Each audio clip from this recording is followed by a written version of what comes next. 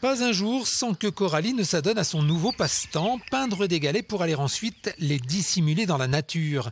Cette trentenaire est à l'origine de la création du groupe lotois du jeu Trouve mon galet. En à peine deux mois, le phénomène a conquis plus de 1700 adeptes sur les réseaux sociaux. Il y a des enfants de 2 ans qui peignent et puis euh, il y a des gens euh, beaucoup plus âgés.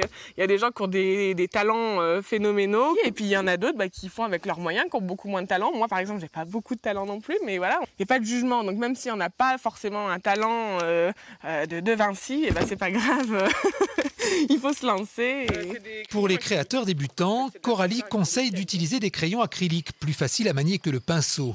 Pour le reste, il suffit de laisser libre cours à son imagination en fonction de ses envies et de la forme des galets. Moi, je préfère quand ils sont un peu ronds ou euh, voilà, ou un peu triangles et surtout lisses. J'en ai hein, des qui sont un peu rugueux, qui ont des formes. C'est compliqué de peindre euh, correctement dessus parce que le, la peinture, elle fait des, des accros. Donc moi, je dirais que le principal, c'est les galets lisses.